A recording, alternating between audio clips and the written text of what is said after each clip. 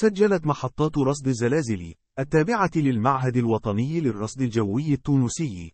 أمس الثلاثاء هزة أرضية بلغت قوتها 4.9 درجات على مقياس ريشتر وحدد مركزها حسب التحاليل الأولية شمال ولاية توزر. وأفاد المعهد التونسي للرصد الجوي أنه لم يتم تسجيل أي خسائر بشرية أو مادية جراء الزلزال.